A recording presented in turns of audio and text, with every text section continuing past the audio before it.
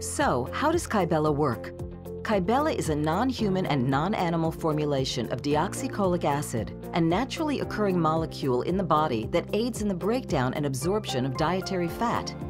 When injected under your chin, Kybella destroys fat cells, and once those cells are destroyed, they can no longer store or accumulate fat. Approved use and important safety information about Kybella. Kybella is a prescription medicine used in adults to improve the appearance and profile of moderate to severe fat below the chin, submental fat, also called double chin.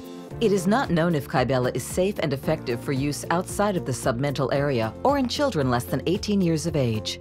You should not receive Kybella if you have an infection in the treatment area.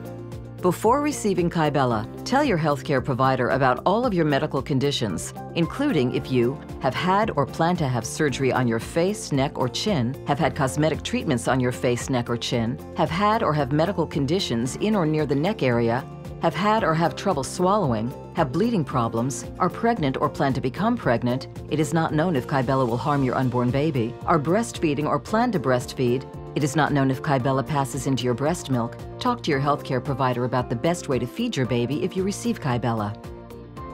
Tell your healthcare provider about all the medicines you take, including prescription and over-the-counter medicines, vitamins, and herbal supplements. Especially tell your healthcare provider if you take a medicine that prevents the clotting of your blood, antiplatelet or anticoagulant medicine.